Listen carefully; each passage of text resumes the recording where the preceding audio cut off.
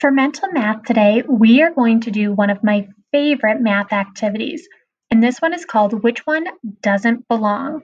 So instead of doing like addition or subtraction or measurement or time, today we're going to do some critical thinking to exercise our math brains.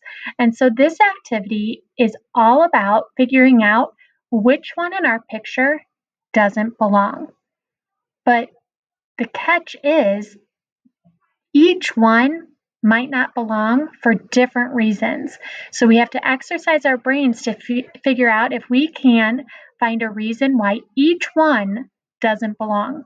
So I'm going to walk you through an example first. If you look at this picture on our screen, you can see that there are four objects in this picture. So when I'm looking at this, I have to decide, well, which one doesn't fit in this picture? And when I'm looking at it, I think there's two really obvious ones.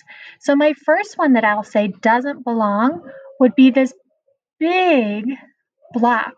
It doesn't belong because it's not the same size as the other ones. But now I'm going to pick a different one that doesn't belong. I don't think this blue one belongs because it's a different color than all the rest.